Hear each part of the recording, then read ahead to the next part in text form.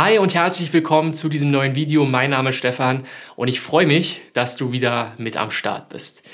Heute gibt es den zweiten Teil zum Thema Patagonien, beziehungsweise ich habe ja am Mittwoch schon den ersten Teil hochgeladen, wo es um die Fotografie ging, also von diesem ganz bestimmten Spot, den ich extrem cool fand.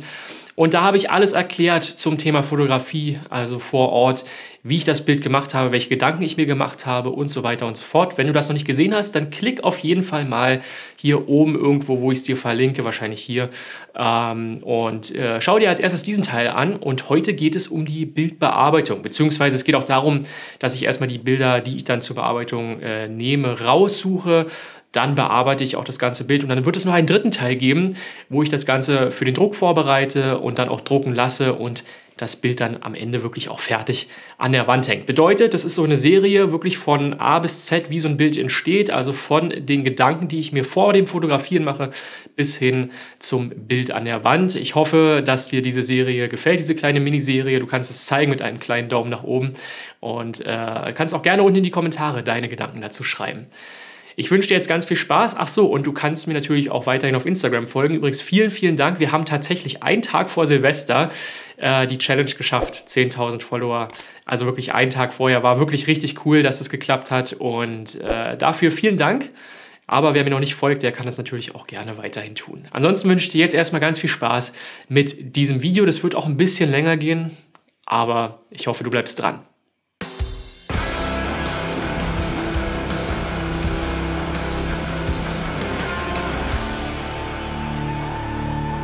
Ich habe jetzt in Lightroom die Fotos importiert und ich habe dieses Bild natürlich auch schon bearbeitet. Ich werde dir jetzt aber natürlich alle Bearbeitungsschritte genau zeigen, damit du auch wirklich nachvollziehen kannst, wie am Ende das Endergebnis entstanden ist.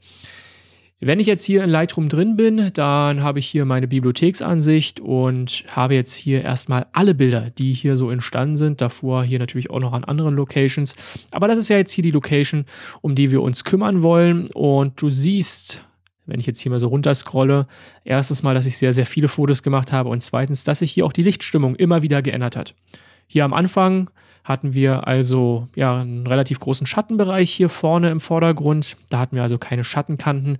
Und dann ist hier irgendwann die Sonne so ein bisschen nochmal zum Vorschein gekommen, hat als erstes hier die Berge im Hintergrund nochmal so ein bisschen angeleuchtet, genauso hier vorne. Und das sind Sachen, die mir sehr, sehr gut gefallen.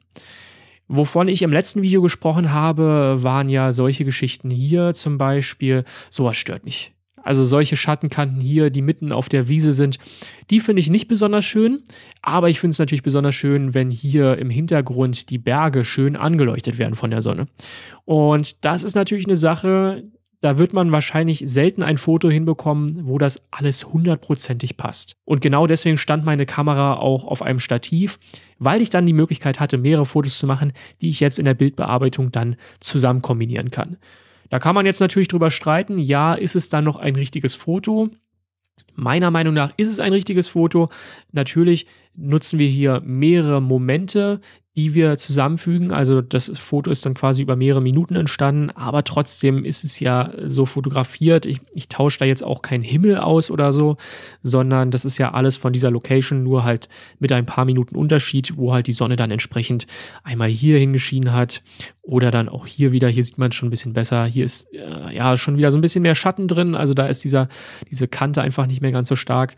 Und das hat sich hier wirklich minütlich geändert. Du siehst es auch hier wieder. Ich finde auch, dass der ganze Steg, dieser ganze Holzsteg zu hell ist, wenn die Sonne hier drauf scheint. Deswegen finde ich das ein bisschen angenehmer, wenn man hier sowas hat, wo das Ganze doch ein bisschen schattiger ist und man dann das Ganze so nutzen kann. Du siehst jetzt hier auch noch äh, ein paar andere Fotografen, die hier an dieser Stelle noch unterwegs waren. Das ist aber kein Problem, die kann ich im Nachhinein noch sehr, sehr gut rausstempeln. So, schauen wir mal weiter. Hier sieht man jetzt, äh, sind die Schattenkanten sehr, sehr doll geworden. Also hier ist die Sonne nochmal richtig gut rausgekommen. Und jetzt liegt es einfach daran zu erkennen, welche Bilder möchte ich eigentlich dann wirklich am Ende äh, benutzen in dem Bild. Ja, also hier zum Beispiel sieht man, wird dieser Berg hier noch sehr schön oben angeleuchtet. Im nächsten Bild ist das Ganze einfach schon wieder komplett im Schatten. Und so werde ich jetzt hier meine Bilder auswählen. Und im Endeffekt habe ich meine Bilder auch schon ausgewählt, wenn ich jetzt hier mal ein bisschen weiter äh, nach hinten scrolle. Das ist jetzt hier ein Stapel, den ich erstellt habe. Das sind insgesamt acht Bilder, die jetzt hier in einem Stapel sind. Ich kann den Stapel jetzt hier auch zusammenfügen, dann sieht man das. Diese acht Bilder sind hier in einem Stapel zusammengefügt. Äh, kann ich dir auch mal ganz kurz zeigen. Wenn du mehrere Bilder zusammenstapeln möchtest, nehme ich jetzt als Beispiel einfach mal diese drei. Einfach alle drei markieren, Rechtsklick drauf und dann sagen Stapeln und dann in Stapel gruppieren. Und dann hat man genau das. Ich habe mir diese Bilder jetzt hier einfach zusammengesucht. Ja, also das sind äh, Bilder, die zu unterschiedlicher Zeit entstanden sind. Die sind jetzt hier nur alle hintereinander dargestellt, weil sie halt in einem Stapel liegen. Und hier habe ich äh, auf der einen Seite als erstes das ist mein Himmel, den ich nutzen möchte. Ja, also hier war wirklich der Himmel am schönsten. Dann habe ich hier zwei Fokus-Stackings gemacht. Einmal ein Fokus-Stacking, wo die Sonne hier wirklich alles schön angeleuchtet hat. Das ist einmal Stacking Nummer 1 hier und das ist das erste Bild, wo ich hinten auf die Berge, glaube ich, fokussiert habe. Müssen wir ganz kurz warten, bis das Ganze hier geladen hat. Äh, genau, hier sind hinten die Berge scharf. Dann das zweite Bild, da habe ich dann hier irgendwo auf den Mittelgrund scharf gestellt. Ähm, wird man jetzt auch gleich sehen. Ja, da liegt der Fokus irgendwo hier vorne schon. Und das dritte Bild, das ist dann wirklich hier ganz vorne auf den Vordergrund gelegt von diesem Holzsteg, damit wir das im Endeffekt auch noch scharf haben. Und diese drei Bilder kann ich jetzt dann in Photoshop zusammenfügen und daraus ein komplett scharfes Bild machen. Das habe ich natürlich schon mal gemacht. Ich werde es jetzt aber einmal zeigen. Hier haben wir unser zweites Fokus-Stacking. Hier war es dann tatsächlich so, dass der Vordergrund schön im Schatten lag, was ich dann natürlich auch nutzen möchte. Und wenn ich diese beiden Fokus-Stackings dann im Endeffekt zusammenfüge, dann habe ich die Möglichkeit, äh, ja, mit diesen beiden Fokus-Stackings das Ganze nochmal zu kombinieren, den Himmel noch einzufügen, so wie ich ihn gerne hätte. Und hier habe ich noch ein Einzelbild gemacht, weil wir hier auch nochmal die Sonne auf den hinteren Bergen so ein bisschen drauf haben. Vielleicht kann man das auch noch mit reinmalen. Also, das waren jetzt so die Überlegungen und es gab auch eine Frage unter dem letzten Video, wie wähle ich eigentlich meine Bilder genau aus, beziehungsweise woher weiß ich, was meine Fokus-Stackings sind. Da gibt es mehrere Möglichkeiten. Manchmal schreibe ich mir das tatsächlich einfach in eine Notiz-App auf im, äh, im, im Handy. Ähm, aber genauso gut kannst du natürlich dir das Ganze auch einfach äh, ja, ein Stück weit merken. Beziehungsweise, wenn du jetzt hier durchgehst, dann siehst du, dass der Bildausschnitt immer so ein ganz kleines bisschen, das sind wirklich nur ein paar Pixel, aber achte jetzt mal genau drauf, wenn ich durch die Bilder durchgehe, durch dieses Verschieben des Fokus äh, ist der Bildausschnitt auch immer ein ganz kleines bisschen anders. Und daran sieht man auch, dass man an dieser Stelle hier ein Fokus-Stacking gemacht hat. Ich weiß auch, dass ich über den gesamten Abend immer genau drei Bilder gemacht habe für ein Fokus-Stacking. Und wenn ich jetzt hier so drei so eine Bilder hintereinander habe, wo sich der Fokus bzw. der Bildausschnitt hier so ein bisschen verschiebt, dann weiß ich, das ist ein Fokus-Stacking. Aber wie gesagt, man kann es auch einfach mit einer Notiz-App machen im Handy. Beziehungsweise habe ich auch unter dem Kommentar gesehen, wurde nochmal kommentiert von einem anderen User, der dann zum Beispiel auch ein belangloses Bild, wie er es genannt hat, macht, damit er weiß, okay, das ist jetzt hier der Endpunkt, beziehungsweise auch der Startpunkt von einem Focus-Stacking. Also ich mache es eigentlich immer so, dass ich mir das mehr oder weniger merke. Manchmal schreibe ich es mir ins Handy auf und wie gesagt, ich sehe es halt eigentlich auch hier, dass das hier ein Focus-Stacking ist. Ja, und danach wähle ich mir die Bilder aus und wie gesagt, dann habe ich nochmal nach einem Bild gesucht, wo hier so ein bisschen die Sonne im Hintergrund auf den Bergen drauf ist und genauso wollte ich einen schönen Himmel haben. Hier ist der Himmel schön dramatisch, die Wolken werden hier noch ein bisschen von der Sonne angeleuchtet und vor allem habe ich hier auch ganz oben ja, so, einen, so einen natürlichen Rahmen. Hier schließen diese Wolken quasi das Bild so ein bisschen ab und das hat mir besonders gut gefallen. So, das ist also meine Auswahl an Bildern. Und ich würde jetzt als erstes äh, ja, so eine kleine Grundbearbeitung machen. Ja, also ich gehe jetzt hier mal in das Entwickelmodul rein und du siehst jetzt hier, ich habe so eine leichte Grundbearbeitung gemacht. Ich habe also die Tiefen ein bisschen aufgehellt, die Lichter noch ein bisschen abgedunkelt. Ich weiß gar nicht, ob ich noch viel mehr gemacht habe. Ja, so ein bisschen in der Kalibrierung habe ich die Farbwerte noch angepasst. Also wenn ich das jetzt hier mal rausnehmen würde, dann siehst du, so ein bisschen habe ich die Farbwerte hier angepasst, dass es so ein bisschen mehr, ähm, ja, so ein, in der Tonung auch so ein bisschen mehr Richtung Magenta geht, in dem Himmel hier, um den Sonnenuntergang noch so ein bisschen zu betonen. Aber das sind nur außen. Also das ist nicht viel. Und ich habe meine Objektivkorrekturen noch angewendet hier, also die Profilkorrekturen und die chromatischen Aberrationen habe ich entfernt und das Bild habe ich auch geschärft. Ja, also hier mit einem Betrag von 90. Radius habe ich auf 0,6 gestellt, damit es eine sehr feine Schärfe ist. Und das Ganze habe ich dann noch ein bisschen ausmaskiert, damit es wirklich auch nur in den Bereichen geschärft wird, wo das Ganze dann angewendet wird. So. Äh, ansonsten Teiltonung ist nicht drin. In der HSL-Tabelle habe ich auch nichts gemacht. In der Gradationskurve habe ich auch nichts gemacht. Also das sind, wie gesagt, wirklich jetzt hier in der RAW-Entwicklung nur ganz kleine Sachen, die ich bearbeitet habe. Und dann habe ich mir jetzt hier diese drei Bilder genommen und habe jetzt gesagt, ich möchte das Ganze Rechtsklick bearbeiten und in Photoshop als Ebenen öffnen. Das werde ich jetzt hier auch einmal tun, denn ich möchte dir natürlich genau zeigen, wie dieses Focus-Stacking funktioniert. Und äh, daraus entstanden sind dann hier zwei Ergebnisse, also zwei Focus-Stackings. Und die habe ich natürlich auch schon als Datei hier entsprechend vorliegen. So, jetzt haben wir hier unsere drei Bilder in Ebenen geladen. Was wir jetzt machen müssen, ich mache jetzt hier als erstes hier mal diese Palette noch zu. Ähm, ich kopiere mir diese Ebenen ganz gerne nochmal, ähm, weil wenn man hier einmal so ein Focus-Stacking erstellt hat, dann äh, sind diese Ebenen quasi ja, verrechnet miteinander. Und deswegen nehme ich die einfach mal alle und ziehe sie nochmal hier auf das neue Ebenensymbol. Dann habe ich jetzt hier quasi sechs Ebenen drin. Und als erstes werde ich jetzt hier mal alle sechs Ebenen mir anwählen mit gedrückter Shift-Taste und auf Bearbeiten und dann Ebenen automatisch ausrichten. Denn du hast ja gesehen, die liegen nicht mehr pixelgenau übereinander. Wenn man den Fokus verschiebt, dann verschiebt sich auch so ein bisschen der Bildausschnitt und um das zu korrigieren, müssen wir als erstes die Ebenen automatisch ausrichten. Das macht Photoshop sehr, sehr gut. Also da einfach mal alle Ebenen auswählen, überbearbeiten und dann Ebenen automatisch ausrichten und das Ganze ist sofort erledigt. So, jetzt ist das Ganze hier erledigt und ich werde jetzt mal die oberen drei Ebenen ausblenden. Die werde ich nur verwenden, wenn überhaupt, wenn das Focus-Stacking nicht zu 100% funktioniert. Also man kennt es ja vielleicht, wenn du schon mal Focus-Stacking in Photoshop gemacht hast, dass äh, so kleine Bereiche manchmal nicht ganz optimal sind und dafür sind diese drei Ebenen da, dass ich das nochmal manuell dann quasi korrigieren kann. Aber diese drei Ebenen, die ich jetzt hier in das Focus-Stacking packe, die werden ja miteinander verrechnet und deswegen brauche ich diese drei Ebenen nochmal als Kopie quasi. So, jetzt habe ich auch nur diese unteren drei Ebenen hier ähm, quasi mir anzeigen lassen. Die werde ich jetzt hier alle drei nochmal auswählen mit gedrückter Shift-Taste und dann gehe ich wieder auf Bearbeiten und diesmal Ebenen automatisch überblenden. Und dann sage ich hier Bilder stapeln. Nahtlose Töne und Farben, inhaltsbasierte Füllung für transparente Bereiche. Das ist auch ganz gut, weil dann bekommt man jetzt hier am Rand auch das Ganze nochmal so ein bisschen aufgefüllt. Das funktioniert sehr, sehr gut und du wirst jetzt gleich sehen, wie Photoshop hier aus diesem Bild, was äh, ja Teilbereiche scharf hat, ein komplett scharfes Bild macht.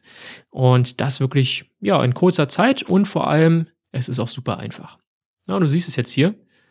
Wir haben jetzt hier diese drei Ebenen, die jetzt hier jeweils eine Ebenenmaske bekommen haben und äh, ganz witzig, ich kann jetzt hier mal mit gedrückter Options- oder Alt-Taste auf diese Ebenenmaskenminiatur klicken, dann siehst du auch, wo das Ganze jetzt hier entsprechend dann maskiert wurde. Ja, also die vorderste Ebene hier, die wurde wirklich nur ganz unten hier angewendet. Und die mittlere Ebene, das ist jetzt hier so der Mittelgrund und dann die hintere Ebene, das ist alles, was jetzt hier so dann im hinteren Bereich stattfindet. Das ist also alles scharf geworden, sieht sehr gut aus. Und das Ganze wurde auf eine neue Ebene hier reduziert. Das ist also jetzt hier unser äh, Endergebnis quasi. Das bedeutet, um ein bisschen Speicherplatz zu sparen, könnten wir jetzt hier diese drei Ebenen direkt mal wieder löschen. Ich wähle die jetzt also alle an und dann schiebe ich die einfach auf den Papierkorb und wir haben ein bisschen Speicherplatz gespart. So, und jetzt können wir hier mal ein bisschen näher reinzoomen in das Bild und einfach mal gucken, ob es hier irgendwo noch kleine Bereiche gibt, die jetzt nicht ganz sauber verarbeitet wurden von Photoshop. Man sieht jetzt hier schon, die Berge sind schön scharf. Ja, man kann jetzt hier auch nochmal reingehen und hier mal die scharfe Ebene, die scharfe Ebene, die jetzt hier vor allem für die Berge zuständig ist, nochmal aktivieren. Das ist die jetzt hier. Und da sieht man zum Beispiel hier in dem Wasser. Ja, das sieht man jetzt vielleicht gar nicht so mit dem bloßen Auge am Anfang. Aber wenn ich jetzt hier diese Ebene mal aktiviere, dann siehst du, wie jetzt hier ah, so ein kleiner Fehler entstanden ist der nicht ganz optimal ist. Und genau dafür, und auch hier übrigens in der Insel hier im Vordergrund, hier sieht man auch, hier hat man äh, eine ziemlich krasse Unschärfe drin. Und ähm, das kann, können wir jetzt hier einfach mit dieser Ebene wieder reinmaskieren. Und genau das werde ich jetzt auch mal tun. Auch hier in den Wolken so ein kleines bisschen noch. Wobei das hier in den Wolken nicht wirklich auffällt. Wichtig sind mir hier die, vor allem die Bergspitzen, dass ich da nochmal gucke, vorher, nachher. Es sieht soweit aber erstmal alles ganz gut aus. Hier hinten, hier ist es ein bisschen unscharf tatsächlich. Ja, da sieht man auch, hier liegt so eine kleine Wolke eigentlich drüber. Also hier werden wir es dann auch ein bisschen reinmaskieren. Und hier in dem Bereich auch so ein kleines bisschen hier unten. Ja, und jetzt kann man hier die Ebene immer an- und ausmachen. Und damit das Ganze ja, quasi noch so ein bisschen wieder reinmaskieren. Okay, also gehen wir mal von vorne nach hinten hier durch. Ich werde jetzt dieser Ebene hier erstmal eine schwarze Ebenenmaske verpassen. Mit gedrückter Alt- oder Optionstaste mache ich das und dann mit einem Klick hier auf, die, äh, auf das Maskensymbol. Übrigens, all das, was ich jetzt hier mache, gibt es in meinem Photoshop für Fotografen Teil 2 Kurs. Ja, also da geht es dann um Luminanzmasken, um Focus-Stacking und so weiter. Und äh, all das, was ich jetzt hier ein bisschen schneller erkläre, wird da richtig ausführlich erklärt. Wenn du also mit dem Thema anfangen möchtest, kann ich dir nur empfehlen, geh mal auf meinen Online-Shop und da dann entsprechend Photoshop 2 oder beziehungsweise Photoshop für Fotografen Teil 2 dir mal genauer anschauen. So, ich werde mir jetzt hier einen Pinsel mit weißer Vordergrundfarbe nehmen, Deckkraft 100, äh, ja, das ist gut. Und dann male ich jetzt hier einfach diese Ebene an der Stelle wieder rein, beziehungsweise ich male es jetzt hier alles so rein, dass es dann am Ende auch wirklich komplett scharf ist. Ja, hier, also den Bereich haben wir. Jetzt mal gucken, hier vorne war auf jeden Fall die Insel, die müssen wir noch wieder scharf bekommen. Ich hier an der Stelle auch wieder rein, das Wasser hier auch.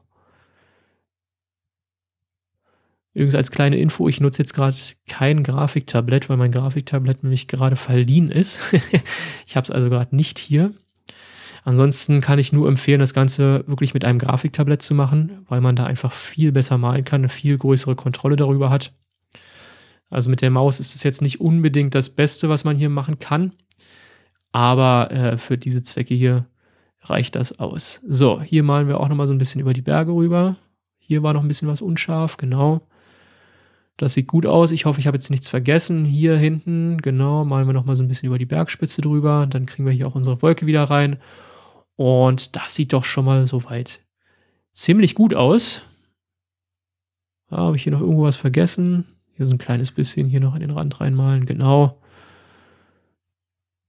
Ja, und hier in die Berge nochmal, genau. Hier war auch noch so ein bisschen Unschärfe drin. Aber du siehst, es ist relativ einfach und wenn man das dann einmal gemacht hat, dann ist es auch kein Problem mehr. Hier ist ein bisschen Unschärfe drin. Es liegt aber nicht äh, daran, dass Photoshop jetzt einen Fehler gemacht hat, sondern es war einfach mega windig.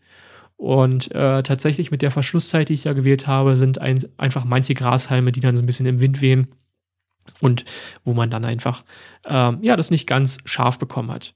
So, der Steg jetzt hier vorne sieht eigentlich auch ganz gut aus. Hier ganz unten haben wir so ein kleines bisschen noch was. Das kann man dann aber auch rausschneiden. Das kann man so ein bisschen rauskroppen. Wir haben insgesamt hier an den Rändern so eine kleine Unschärfe drin. Das kann ich dann am Ende aber noch, wie gesagt, beschneiden. So, dann haben wir jetzt hier unser fertiges Bild. Jetzt kann ich das Ganze schließen, speichern und das Ganze wird dann entsprechend wieder zurück in Lightroom geladen. Und jetzt äh, zeige ich dir auch mal die fertige Datei davon. Das ist die hier nämlich geworden. Das ist jetzt hier quasi das fertige Focus-Stacking für das erste Focus-Stacking. Und genau das gleiche mache ich jetzt mit den anderen drei Bildern hier auch nochmal.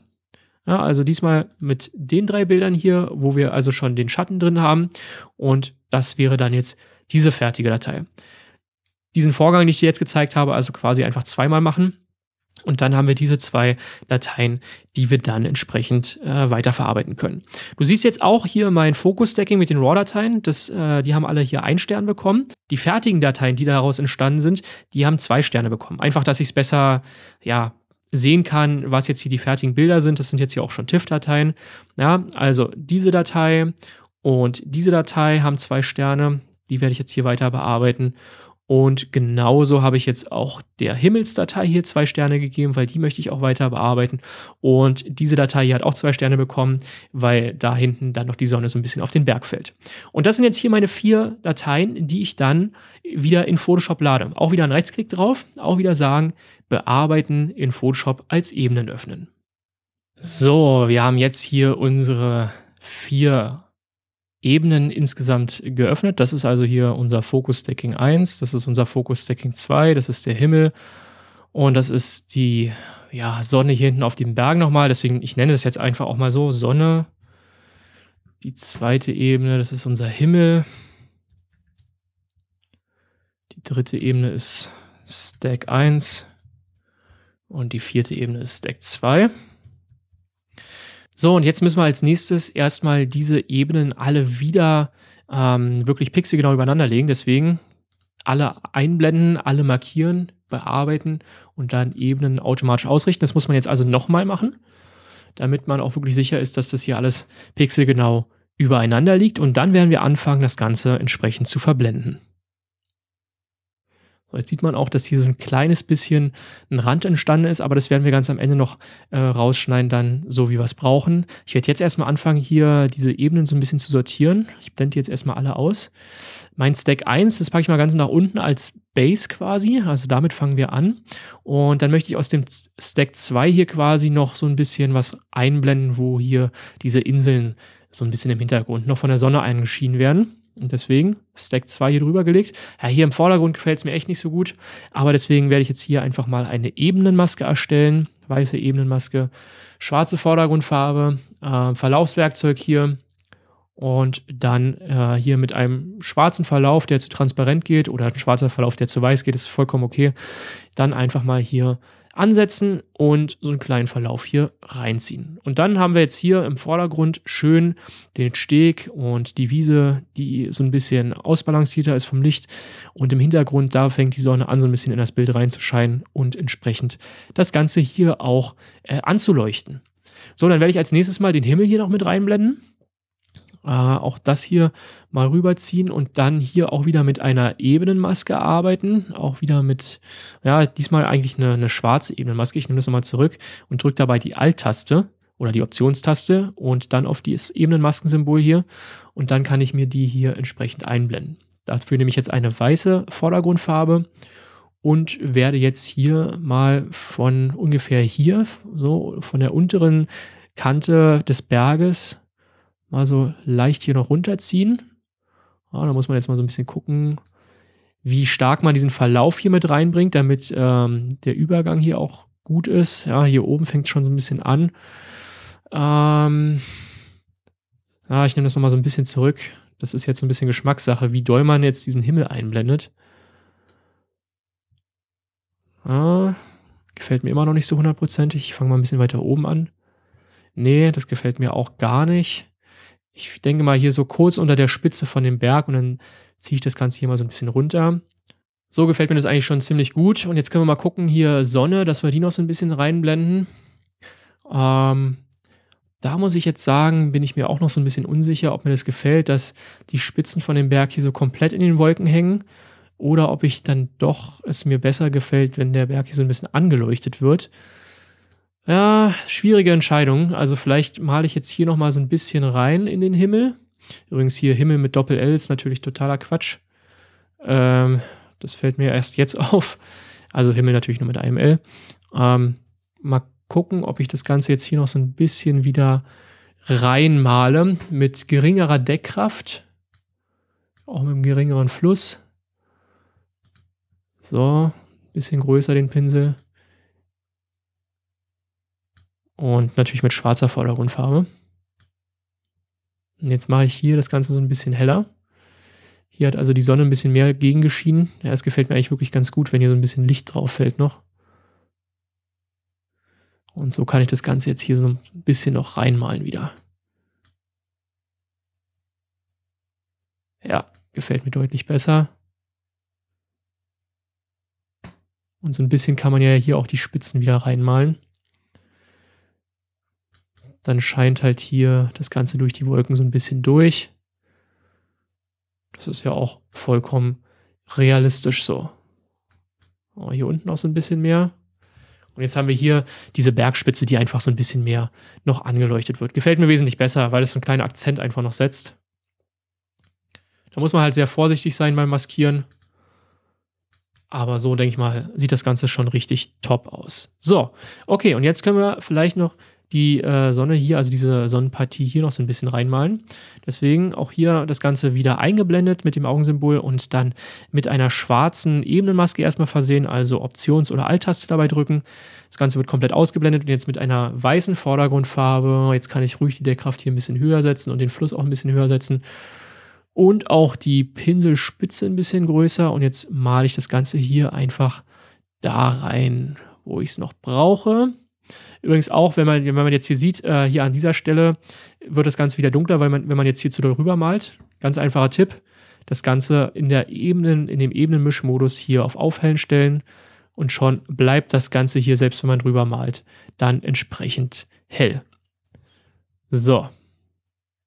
Ja, das sind so einfach kleine Tipps, die man ähm, auch gerade in diesen Photoshop-Grundkurs von mir lernt. Also es gibt ja inzwischen zwei Teile davon. Wie gesagt, wenn du da Bock drauf hast, schau einfach mal auf meinem Online-Store vorbei und da wird das alles nochmal ganz genau erklärt. Jetzt haben wir das auch drin. Jetzt sind wir hier eigentlich fertig mit dem Blending. Sieht gut aus, gefällt mir. Und was ich jetzt noch machen kann, äh, hier zum Beispiel sieht man noch so ein bisschen die Überreste von dem einen Fotografen. Ich werde mir jetzt einfach mal so eine leere Ebene hier nehmen und dann entweder mit einem Kopier, äh, mit einem Kopierstempel hier oder auch äh, mit einem Reparaturpinsel dann so ein bisschen hier noch Sachen rausnehmen. Ich nehme zum Beispiel auch mal dieses Verkehrsschild hier noch raus. Einfach die Alt-Taste drücken. Ja, ein bisschen zu nah dran gewesen. Die Alt-Taste drücken, was aufnehmen und dann kann man das Ganze hier entsprechend rausstempeln.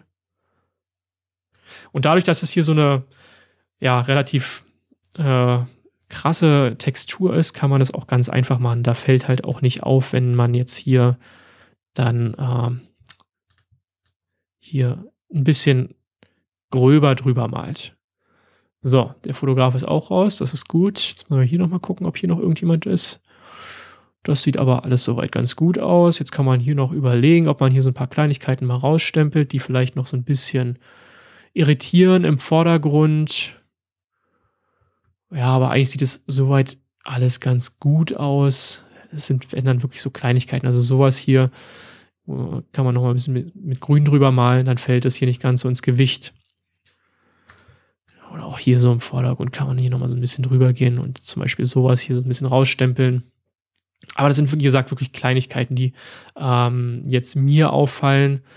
Äh, Gerade wenn es ein Portfolio-Shot ist, dann kann man sich hier wirklich nochmal so ein bisschen mehr Zeit nehmen, um das Ganze noch so ein bisschen detailgetreuer zu retuschieren.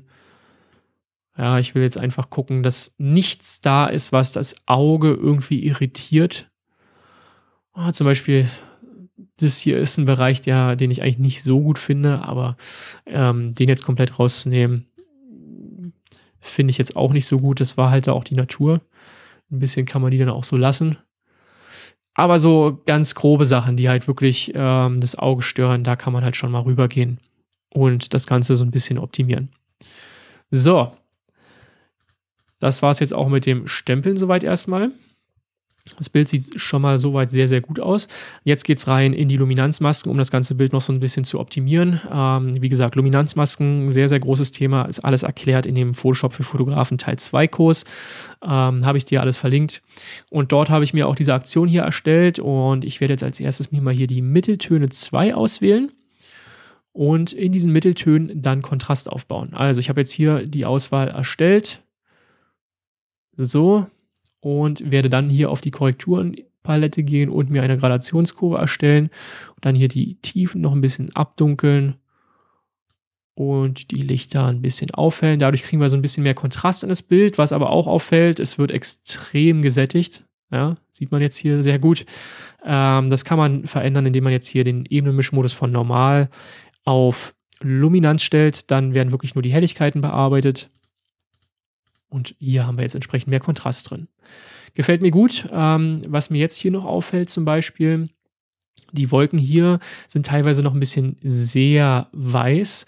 Da kann ich jetzt hier nochmal auf meine Kopierstempelebene zurückgehen und dann nehme ich mir jetzt hier einfach mal einen Pinsel. Auch wieder mit ein bisschen geringerer Deckkraft, ein bisschen geringerer Fluss. Und wenn ich den Pinsel habe und dabei, also die Größe mache ich auch noch ein bisschen kleiner, wenn ich jetzt hierbei einfach mal die Alt-Taste bzw. die Optionstaste drücke, dann ändert sich das Ganze in eine Pipette. Und jetzt kann ich hier reingehen, ich nehme mal die Deckkraft noch weiter zurück, kann ich hier reingehen und mir ja, so ein bisschen eine dunklere Farbe aussuchen hier von diesem äh, Gelb. Und dann kann ich das hier einfach nochmal so ein bisschen drüber malen und damit die Wolken so ein bisschen abdunkeln, damit wir hier nicht so eine krassen Spots drin haben, äh, die dann schon sehr ausgebrannt aussehen. Ja, also hier vielleicht auch nochmal so ein kleines bisschen rübergehen. Das ist deutlich besser so. Perfekt. Okay. Ah, sieht jetzt einfach wesentlich besser aus, wenn es vergleicht. Genau. So, dann haben wir die Kurven hier. Ähm, ich werde auf jeden Fall auch nochmal mir die Schatten auswählen. Und da jetzt auch mal wirklich nur die dunkleren Schatten, also Schatten 3. Und die möchte ich auch nochmal so ein kleines bisschen abdunkeln. Deswegen gehe ich jetzt hier wieder in die Korrekturen rein, wieder eine Gradationskurve und mache jetzt hier die relativ dunklen Schatten noch ein bisschen dunkler. Ja, das gefällt mir ganz gut. Wo es mir nicht gefällt, ist hier oben in den Wolken. Da nehme ich es wieder raus. Deswegen ähm, werde ich das Ganze jetzt hier in eine neue Gruppe packen. Und diese Gruppe kriegt auch nochmal eine Ebenenmaske. Und da werde ich jetzt einfach mit schwarzer Vordergrundfarbe das Ganze hier oben wieder rausnehmen. So. Und dann betrifft es hier die oberen Wolken auch nicht mehr. Jetzt finde ich insgesamt ähm, das Bild ein bisschen ja, von dem Farbton noch nicht optimal. Deswegen gehe ich jetzt hier mal in die Farbton-Sättigung-Ebene rein. Ich muss jetzt aufpassen, dass das jetzt hier nicht in diese Gruppe kommt, sondern die packe ich hier oben drüber. Und ich glaube so insgesamt, ich gucke mal, ob ich insgesamt so den Farbton so ein bisschen verstellen möchte. Also auf plus 1. Und dann gehe ich jetzt hier auch nochmal in die Grüntöne rein und werde die Grüntöne auch nochmal so ein bisschen verändern und auch die Gelbtöne, weil natürlich auch gerade hier in dem Rasen viel Gelb mit drin ist. Schieben wir das auch nochmal so ein bisschen weiter Richtung Grün. Ja, so plus 4 ungefähr. Ja, es gefällt mir besser. Sonst ist mir das hier alles zu rot. Und ich will da so ein bisschen mehr Farbseparierung drin haben. Und so äh, sieht es deutlich besser aus. Okay, das gefällt mir gut. Ähm, muss ich eigentlich auch nicht weiter maskieren. Das gefällt mir eigentlich überall. Ich muss nur mal gucken, jetzt hier in den Wolken. Ah, so ein kleines bisschen ist es in den Wolken drin. Okay, ich nehme also doch nochmal einen schwarzen Pinsel hier, beziehungsweise ein Verlaufswerkzeug und werde das Ganze jetzt hier aus den Wolken ausmaskieren. Ja, gefällt mir so deutlich besser. Okay, dann äh, bin ich eigentlich soweit fast fertig. Ich werde jetzt hier mal alles auf eine neue Ebene packen, also mit Shift, ähm, Command, Optionstaste und E packe ich alles bisherige auf eine neue Ebene und dann gibt es nochmal einen Filter, nämlich ein äh, Schärfefilter. Unter sonstige Filter, Hochpass, kann ich das Ganze dann hier nochmal schärfen. Ich habe dann hier so 1,5 Pixel ungefähr, was ich immer nehme. Und diese Ebene stelle ich jetzt einfach vom Mischmodus auf ineinander kopieren. Und schon habe ich jetzt hier meine Kanten nochmal gut geschärft. Also kann man jetzt hier auch nochmal gucken. So sieht es ohne aus, so sieht es mit aus. Da ist ordentlich Schärfe nochmal reingekommen. Kann man sich überlegen, vielleicht sogar nochmal von der Deckkraft ein bisschen runter zu regeln, so auf 70 Prozent ungefähr. Perfekt. Und jetzt haben wir hier ein sehr, sehr gutes Ergebnis. Ja, also ich denke mal, so kann man das Bild auf jeden Fall lassen. So, und was wir jetzt noch machen müssen, ist das Bild äh, hier so ein bisschen noch kroppen. Das heißt, ich gehe jetzt hier auf das Freistellungswerkzeug. Ich werde jetzt hier also überall so ein bisschen das noch reinkroppen, damit wir hier an den Rändern äh, auf jeden Fall diese Unschärfe raus haben. Das gefällt mir gut. Ich denke mal, ich lasse es hier bei so einem 3 zu 2 Format.